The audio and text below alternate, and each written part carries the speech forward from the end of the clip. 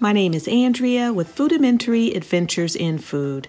In my household, there's me, my husband, and our adorable two year old little boy. On our channel, you'll find simple and tasty dinners using everyday ingredients. So today I'm making ham stroganoff. It's a really simple recipe with just everyday ingredients. So I've got some olive oil in my pan and I've added in my onions and next I'm going to add in two cups of cooked ham. And I am just going to let all of this saute together um, until the onions are nice and translucent and that ham is uh, nice and kind of golden brown. Okay, so now my ham is nice and brown and my onions are cooked through and translucent. Now I'm going to add some golden mushroom soup. Now, if you've never used it before, it's not a cream-based soup, as you can probably tell. It's a beef stock and tomato-based soup. So you're just gonna add in the soup and then you're gonna stir it around until it is well combined and warm all the way through. Okay, so now that the mixture is thoroughly heated through, I'm just adding in some sour cream and you're gonna give it a good stir and then turn the heat off. Okay, so here's the ham stroganoff. It may not look like much, but it is absolutely delicious. So savory and rich. And it's a nice change from chicken stroganoff or beef stroganoff and I am serving mine over egg noodles and with some green beans. So this is what we are having for dinner tonight and we will see y'all next time. Today I'm making cordon bleu pizza. So in my pot here, I have flour and butter and I've made a roux. I added some salt and now I'm adding in some milk, garlic, and Parmesan cheese and I'm going to let that simmer and thicken up.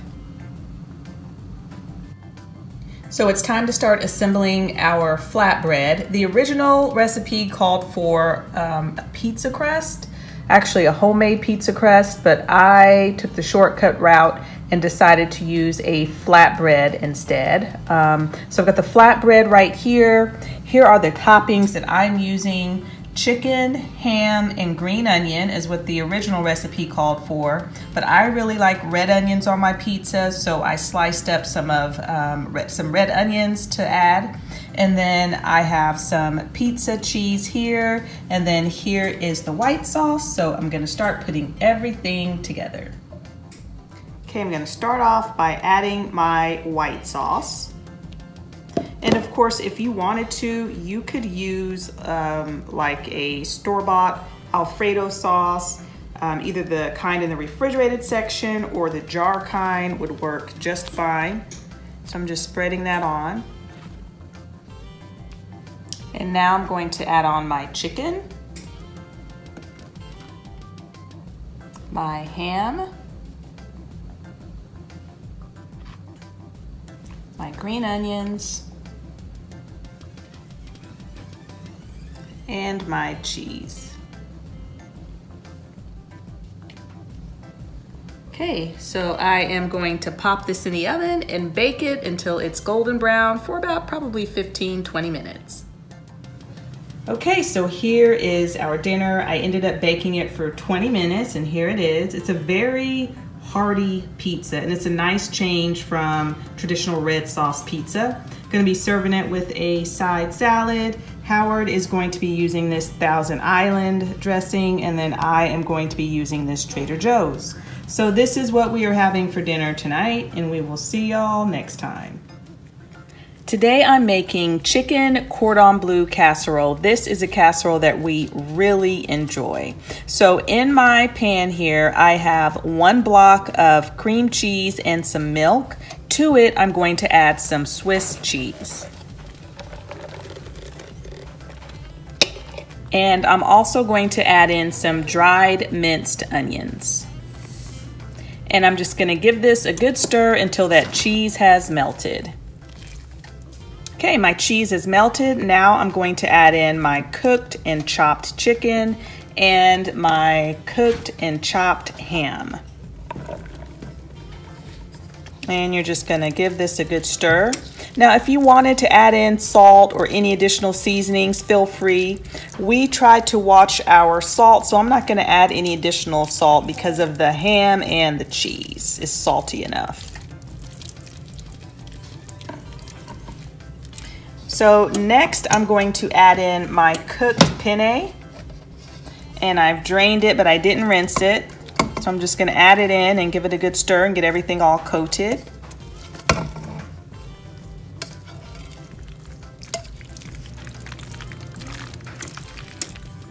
Okay, so I've got everything all combined and I have it in a casserole dish. And now I'm just spreading some breadcrumbs on top. I've got some panko breadcrumbs mixed with some unsalted melted butter. And then after that, I'm just gonna pop it in the oven for about uh, half an hour or until those breadcrumbs get nice and brown. Now, I can't remember if I mentioned, but I did make some modifications to this recipe, and I'll link the original recipe, of course, but then I will add the modifications that I made. One of the modifications that I made was um, the amount of pasta that this recipe calls for. It calls for an entire pound, but I just used two cups of dried pasta. Everything else I kept the same, the ingredients that are called for, um, and it turns out so nice and creamy. With a pound of pasta, this recipe is really dry. So two cups of dried pasta works for our family. We have definitely enough for leftovers. All right, so I'm gonna pop this in the oven. Okay, so here's dinner. I let it bake for exactly 30 minutes and you can see how rich and creamy it is. It is so good, such a tasty little casserole. And then with it, I am just serving some green beans. So this is what we are having for dinner tonight and we will see y'all next time. So I am making a ham and potato corn chowder today.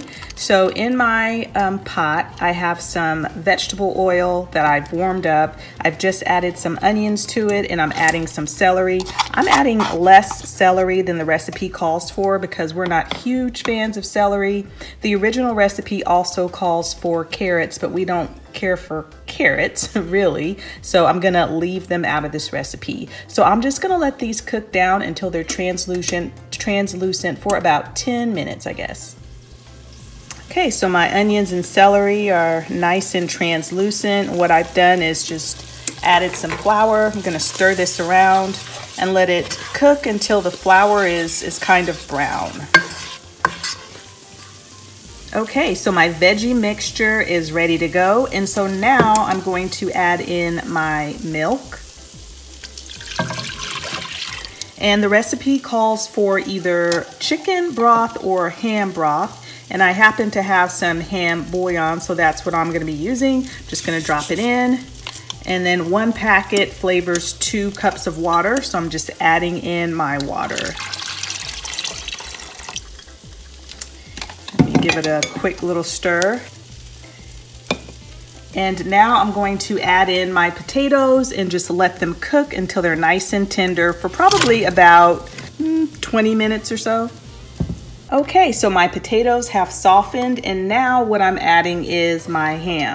So there's a variation on the recipe that says you can fry up your ham. So that's what I did. I wanted to have some more flavor. And then I also added some chopped um, garlic, in, well not chopped, minced garlic in there as well. So I've just added that in. I'm gonna give it a stir. Now if you wanted to add additional seasoning, salt, etc., you can.